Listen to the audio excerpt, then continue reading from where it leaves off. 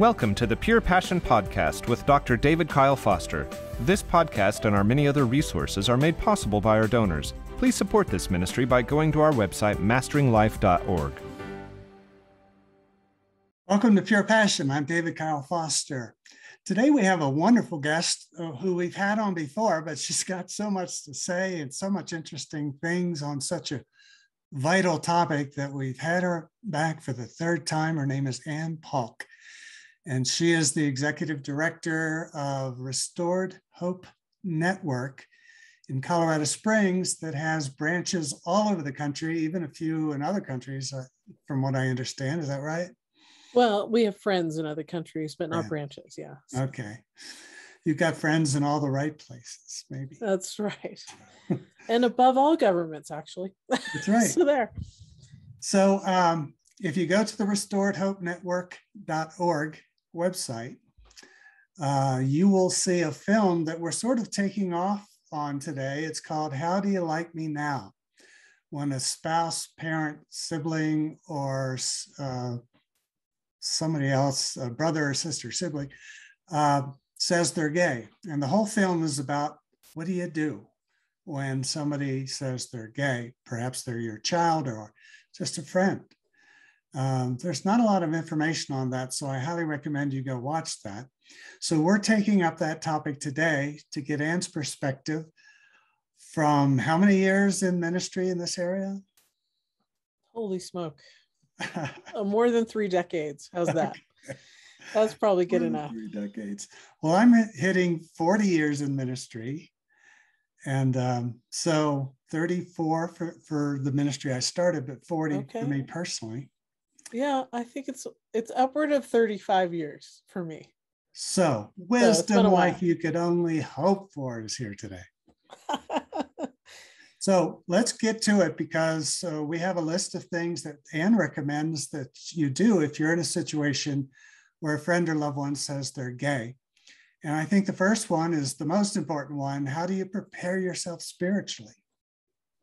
Well, I really think it's so important to uh, read up on the word, but also put in your mindset, in your mind, uh, that the person who is coming with an LGBTQ uh, identity comes from a different worldview. And so it's kind of getting ready to uh, speak elements of God's truth to them, but pray up and have your spiritual um, battlement, your, you know, the helmet of salvation, the belt of truth, and all the rest that Mm. Ephesians 6 recommend. Put that on. Um, be ready to, um, you know, preparation of the gospel of peace. That's a powerful weapon. Um, and pray. Uh, really important to pray before speaking because we can say things that can stick in someone's mind for an awful long time, especially if, unfortunately, there's something that offend a person unnecessarily. I mean, you know, the hard word from a parent to a child or a spouse to another spouse or a friend to a friend can sometimes be very difficult to undo. And so it's really important to put on the mindset of Jesus and the heart of God before going into a conversation. Um, knowing that someone who's LGBTQ identified starts with an element of uh, hyper sensing of rejection and uh, judgment. And so they're expecting, they may feel personal rejection already in general or shame. Um, and so shame isn't always a good thing. Shame, shame meaning you feel that you are a bad person as opposed to uh, that you've done something wrong. That's the difference um, uh, that we'd want to avoid. You don't want to provoke them into going further in the direction they're going, but actually woo them with the love of Jesus. And so the important part is to pray first and be ready personally. Um, And that's Yeah. really important because we're talking about spiritual warfare here in a situation where the media, the gay activists in the media for the last 50 years have been telling everybody that you and I hate homosexuals. So that's really the first order of business, isn't it? To right. express love, love to them. Yes. And disagreement is not hate. And yet that's what's become the norm of belief system in the US. What is the difference between feelings and identity? As you're talking to someone, that's another thing you're looking for, right? That is really important. I think uh, most of the millennials and Gen Zs and probably Generation Alpha that's coming up are currently a little bit, they have that a bit mangled right now. What is reality? What is truth? Is really a core difference with previous generations. Um, I would say, having had been a lesbian myself, I would have called myself a lesbian or a lesbian Christian for a very brief time before I actually encountered God. And then I discarded the lesbian aspect and wanted to learn how to walk in, in the middle of uh, God's plan for me and walk out health and healing in my relationships. So, but these folks, the current culture has really been told that people are born gay, they believe it and that gay is an inherent part of who they are um, that that is who they are that that is no, not distinguished from the human person uh, and so when you say the old 20 uh, 15 years ago person a christian might say well love the sinner hate the sin but when you apply that to the topic of homosexuality what the individual hears is i reject you because they identify as the sin mm. of homosexuality, of gay. So I would highly recommend that parents, especially of young people um, and millennials, they'd evaluate their thinking, all generations actually, evaluate your thinking and decide am I identifying myself as my feelings or something more important than that that's less movable?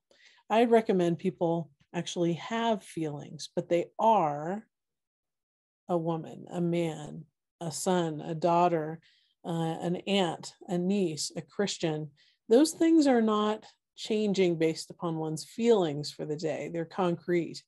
Um, so I, they've really come to a point where who I am based on feelings is so changeable right now that um, a friend of mine up in Washington State asked um, Washington State University students, I think it was Washington University, actually, University of Washington students, uh, can I be a five nine white guy? Can I be a woman? And they said, oh, no problem. You know, we'd accept what if you say you're a woman. Well, can I be Chinese? Um, well, you may have some Chinese DNA in you, so maybe you're identifying with that part. Um, can I be six foot five? Um, and that's where the students had trouble. They didn't have trouble with identifying a person by something other than a five nine white guy saying he's, you know, Chinese and a female. No problem. But the five nine was the stumbling point for them. And that's a measurable mathematics equation. They're like, uh-huh, well, I think that's kind of stretching it. So we've come into a time in history where truth is is what you feel and and that's just off because it can uh, an adult can feel like they're a cat and they get cosmetic surgery to have whiskers implanted and people have no basis on which to say um, that person is a cat or is not a cat um, there's someone who thought they were a dragon so they got cosmetic and tattoo surgery to look like that. Even more to the point that there are pedophiles who claim that they feel this way, they're born this way, and therefore what they're doing in terms of molesting children is legitimate. Right. That's right. And so what rights do the does the child have? Of mm. course, they have plenty of rights currently, but will that continue? Um, minor attracted persons is the new term, or they're trying to bring down the the negative associations of the word pedophile, for example. Yeah. Um, those are problems. And so truth matters. Truth connected to material reality matters. Um, it's measurable whether somebody is actually uh, what race. You can check that with the DNA and the history and the. I mean, now we have all those DNA come will test your DNA, but um, whether you're female or male, I mean, that is a big challenge in our culture. What is accurate is saying someone feels that they may that they that person feels that they're a cat. That mm-hmm. doesn't make them a cat.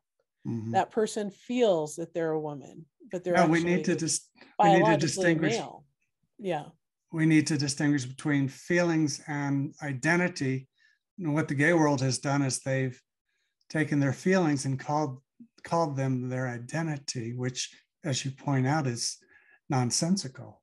It's a very weak basis for identity. And as a Christian, we have so much more to base our identity upon son or daughter of the king, et cetera, et cetera. Well, those are all great things, but we're talking about an LGBTQ loved one who may not be a believer. Mm. So, what I'd highly recommend is talking to your children, even as they're growing up, of people have feelings, but they are a, and then give a concrete answer to that to mm. that comment, whatever is actually accurate. Another problem is feelings lie to you feelings can lie and people are often self-deceived we you know remember the cult activity where they had the um, comet flying through past la and a whole bunch of people drank uh, poison in order to join the comet up in the sky a mm-hmm. lot of those folks had phds mm-hmm. they bought into this philosophy these lies and took their lives to follow this one guy who took them down a cult like path right we can be deceived. So, staying with concrete reality is so important. Um, do keep in mind, folks, that if you have a child who's identifying as opposite sex, that, and notice how I phrase that, they're identifying as the opposite sex. I'm not saying they are the opposite sex. So, there's some language that is truthful that you can use that is honoring, and yet it is keeping what is true true in front of the you know truth right in front of their eyes at the same time. So it leaves room for truth to grow. It's almost like have feelings they are something else. Yeah. It's almost like uh, what happens with somebody who's trying to commit suicide. What you do is you try to take them back to reality by talking about concrete things that they can focus on rather than the feelings that are that are lying to them. Let's go on to the next one. You said uh, talk to the person about what works and what doesn't work in their life, and then ask them if you can pray for those things that aren't working. That's pretty. That's pretty good advice. Well, thank you, David. Um, I think you know a lot of times I have a couple people in my life who are gay identified, and there have been times when, depending upon relationship, I can ask these questions of how's that how's that going? How's your relationship going? And just kind of get behind the scenes. Is that working? Is it not working? Yeah okay so you're going to the bar scenes. Does that make you feel loved? Oh really? What what is it the attention or is it the uh, are you getting the well that's in within all of us the god-shaped hole that we're trying to cram other things into? Is that really working to fill those needs um, everybody needs to feel loved, cared for, and valued. Um, and you know whatever is bitter will taste sweet to the person who's starving right? So that's the trick and that's the point. That's actually a scripture in proverbs. Even to the hungry even what's bitter tastes sweet. And so that's the point. There's an emotional craving for connection for value feeling valued for feeling loved um, and a lot of times, gay relationships cannot and often don't and end up uh, hurting the individual more than they were even hurt to start with. So there is, uh, you know, abuse in in gay relationships and lesbian relationships. There's a discounting of one another. There's cheating on one another. There's a whole bunch of hosts of things going on in relationships. I'm not saying all of them are exactly like that. I'm saying it is not uncommon. No, um, it's not at all. And so it's important to ask how how are you to their loved one? How are you? How are things really going? And let and them listen. see the compassion that's in, let them see it in your eyes and feel it in your voice, right? That's right. That's right. And really listen well before offering to pray or anything. Listen well. I know that's a big challenge for parents whose loved ones, a son or daughter, has just come out to them and if that's not in your wheelhouse right now don't worry just don't don't step through that door because if if it provokes your anger or your you just want to push off your child, then it's not really going to work to bond you to your child. So it's a matter of a person being ready for that. It's way easier to do that in an environment where there's a sibling or um, a different kind of relationship. But do keep in mind that as you grow and as you find security and comfort in the Lord, you may be ready to have some of those kind of conversations with your loved one and mm. being praying for them behind the scenes so that they can seek the real what really does fill up the god-shaped hole from the one who's able to fill it another thing you mentioned is that uh, and i agree with this so much there's so many people in the world today who disrespect the homosexual because they disagree with their lifestyle and they're angry that they're manipulating the culture and so they approach the gay person without any respect. And that sort of cuts off the conversation from the start, doesn't it? It does. It really does. I mean, I've been served in restaurants and I have served people who are gay, lesbian, transgender. And what I try and do is look past how the person's presenting to see that there is a person that God loves and wants relationship with yeah. and who is precious right in front of me. And so I start there. People are precious and that they matter to God and they matter to me. Um, so know that this person whom you're talking to is is immortal. They're going to live forever in one place or another. Well, let's make sure they have the best chance possible and not push them further away from God, but draw them near to Him so they might have eternal life and a right relationship with the God of the universe. So I'm, I honestly, there was somebody who interviewed me in Minneapolis who presented as binary, a non binary, um, did not identify whether the person was female or male. Um, to me, it appeared that it was a female by body structure who this person was a female who was presenting as non male or female, right? And so that was an interesting interview. I wanted to be genuine. I wanted her to know that she mattered, that this person mattered and that God cares about. And so I had a wonderful little conversation. I could tell there was some hostility coming at me from her, mm. uh, but I just applied kindness and mercy and love and um, related to her so that she would have the best opportunity to hear God's heart flowing through me. And so I think that that's my perspective is I want whether it's a male or female um, all the things you can try and stuff in that God shaped hole will not satisfy until you meet the one who it was made for. Um, and, and everybody's kind of desolate until then and trying even greater things to throw in there, right? I mean, may let's it talk, be that we open up the door for them.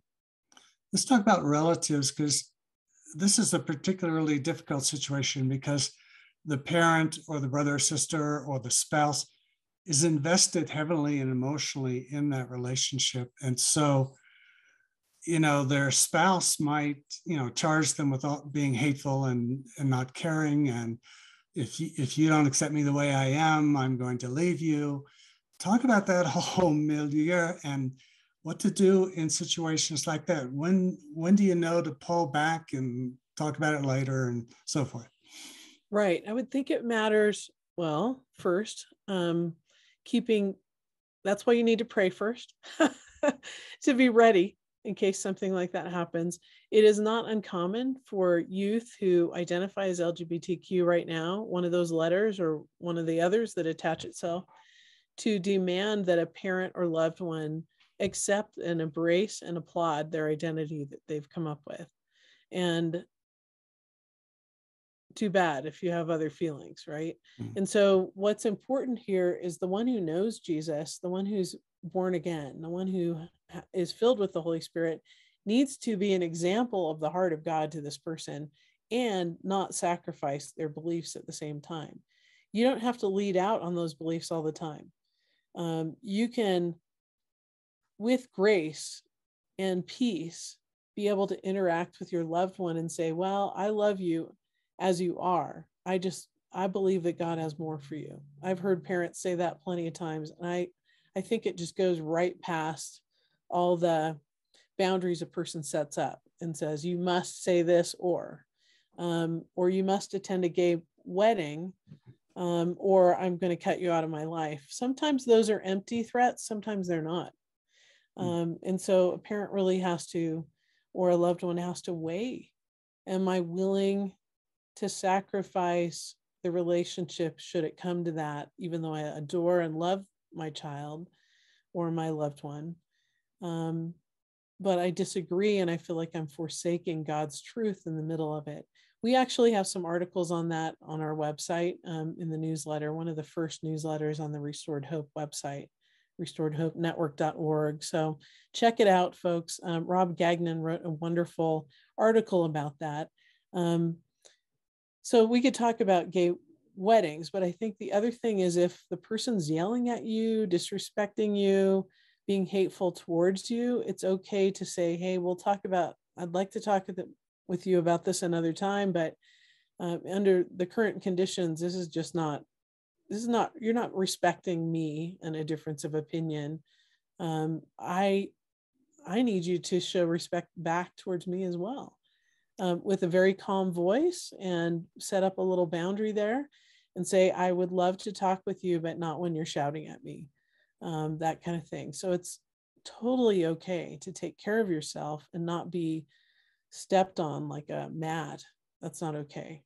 It's almost like the parable of the prodigal son, where the father just had to let the son go because nothing was getting through to him. And he knew that the son had to reap the consequences of his behavior before he'd be willing to come back. Exactly. Perfect example, David. Yeah.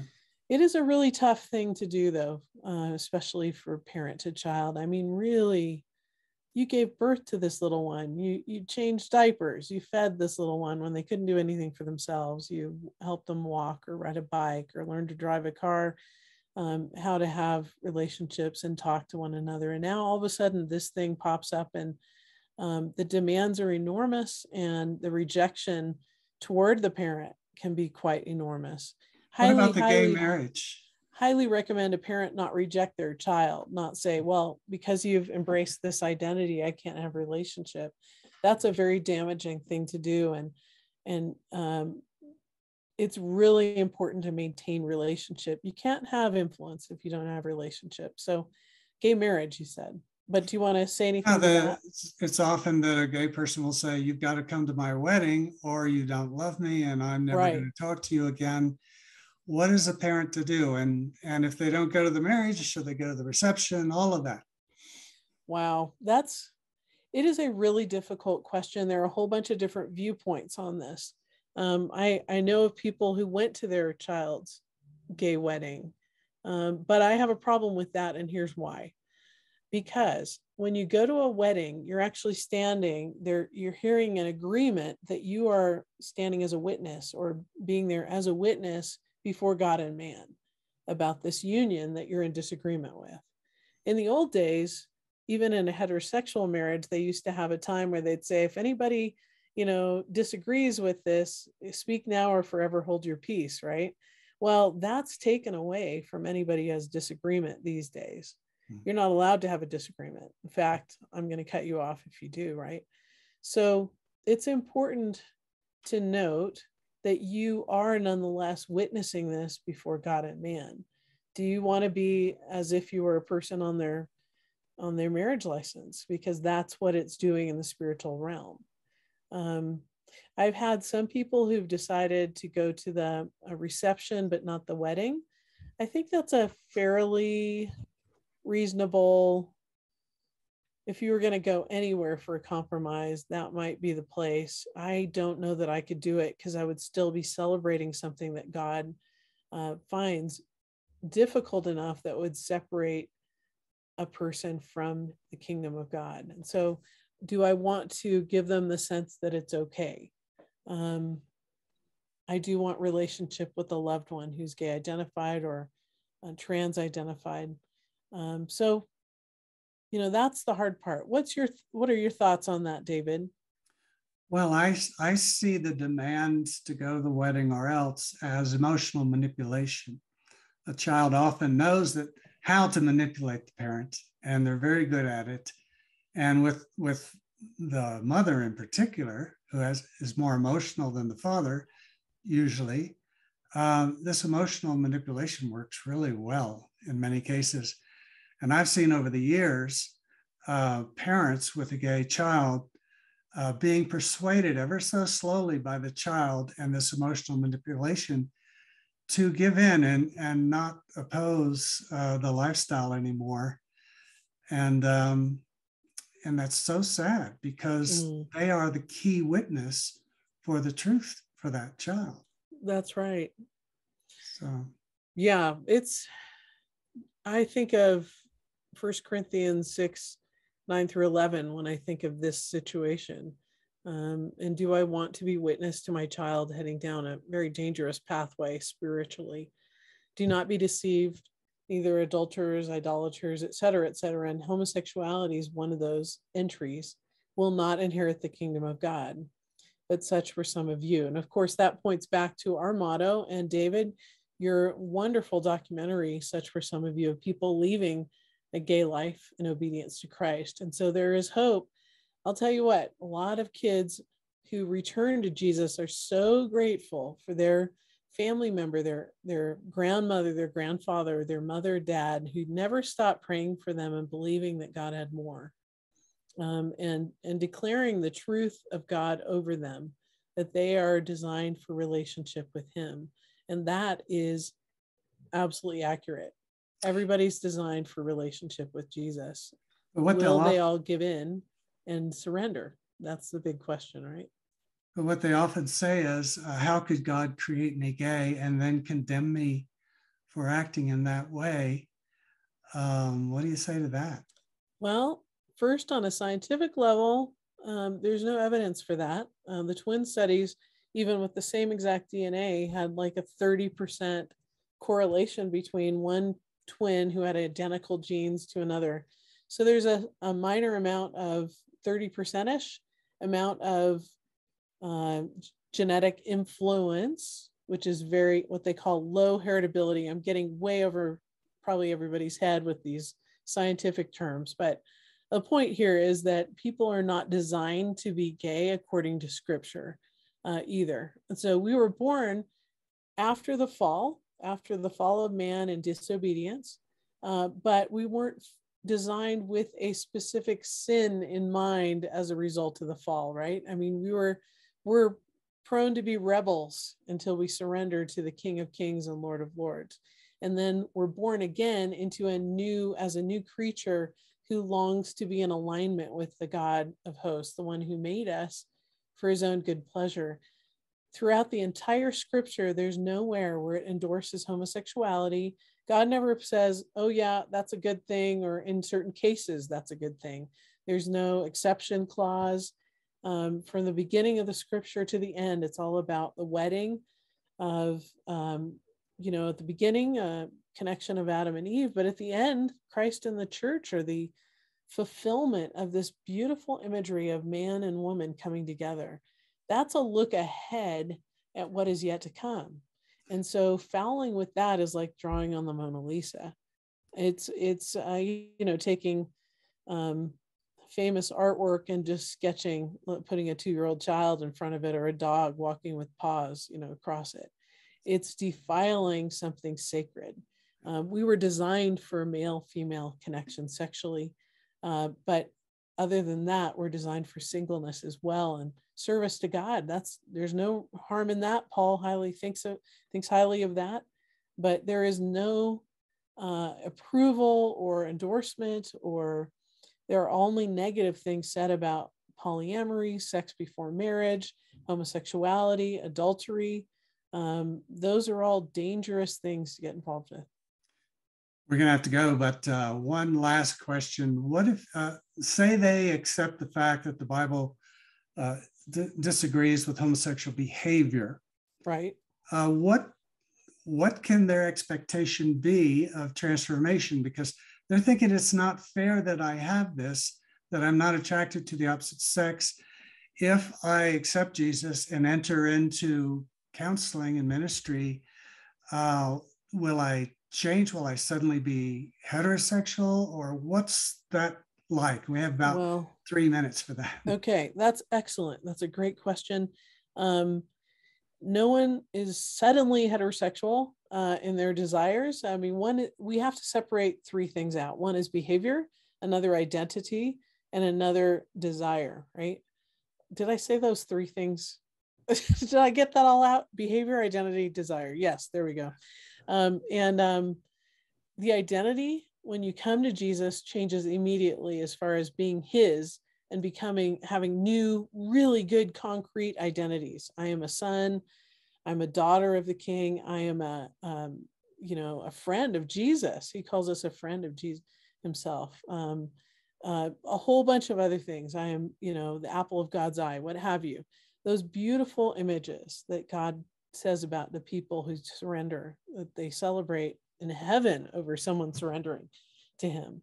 Um, but feelings often don't change immediately. Um, there's a relational issue, and usually there are relational solutions to that. And that takes time, it's over a lifetime period of God maneuvering in a person's life and causing them to surrender one thing after another. I like Shrek's comment I'm like an onion, I have layers. Okay, well, growth in humans comes in layers and over a lifetime. And as you work different muscles spiritually, you grow. Uh, First Peter talks about that. I, you know, there's increasing into the image of Jesus. And so, what can they expect though, as far as their feelings? Uh, behaviors can be surrendered, but feelings can be really difficult, especially at first. Um, well, you know, the more they surrender, the more likely they're going to grow those muscles to obey. And obeying, they'll start to see different things about life. Um, so it's almost as if identity changes seemingly first, then, secondly, some behavioral changes uh, and growing in Christ likeness and away from sin. And then, thirdly, often the feelings begin to resolve over a lifetime. Some people continue to struggle. Now, scientifically speaking, the best information we have right now is about 38% of people after a year of discipleship have had significant change. So they're not struggling in any routine format with homosexual feelings. That's a huge change. That's better that's, than uh, alcoholics and drug addicts yeah it's enormous and you know some people have gone on longer to have that result um there another you know 32% or a little bit more i think it's i think it's 40 somewhere in the 40 percent um, continue to struggle to some degree and they gain the ground where they no longer have to respond to the struggle by sinning um, so the sin's no longer, the struggle is no longer in charge of them, but they're in charge of the struggle and how they respond. That's a huge win in my book. Yeah. And then another 16% go back into the gay lifestyle. That's according to one study done by a ministry using Living Waters material. Yeah. and that could time. be and that could be that they didn't get the right help. It could be all kinds of reasons why they give up and yeah. go. I, I've often noticed that uh, people who are entering this uh, ministry to uh, deal with their homosexual attractions, it's almost like they have a stopwatch on God. And if He doesn't heal them within a certain amount of time, they just leave. And so they're trying and their image of to healing control God and, and, can be, and the time you know, that He brings into that. Okay, God, you got to do the light switch or I'm out of here. Yeah. Um, I was gay, now I'm straight. Boom uh, they in put my, that condition. That's a dangerous thing to do. In my experience, uh, the Lord had to take me through healing of forgiveness, uh, the lies that I believed that weren't true, my fear of intimacy, my self hatred. All of these things fed into uh, an arrested emotional development. That when they got healed and the emotional development got restarted as a result, then there was a gradual diminishment of the same sex attractions and a gradual increase of the heterosexual attractions. It amazed me at how practical and real and significant change can be for those who pour themselves into seeking God. Now, we're over time. Let me tell the folks here restoredhopenetwork.org is the place to go. Anne Paulk has written a fabulous book called Restoring Sexual Identity. Uh, these are two of the resources. Then we have that film called How Do You Like Me Now, which is on the Restored Hope Network website. And if you have a loved one or a friend who needs help in this area, or if you need help in this area, uh, go to Restored Hope Network and they have a whole list of ministries all around the country and they can plug you into the one closest to you. So thanks, Anne, for being on the show. I really appreciate it. Thank you, David. What a pleasure to be join you. I'm sorry we went over. no problem. God bless. Bye bye.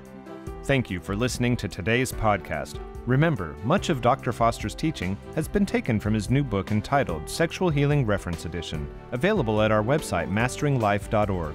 This podcast and our many other resources are available because of our donors. If you are one of them, thank you. If you would like to join in supporting us, please visit masteringlife.org.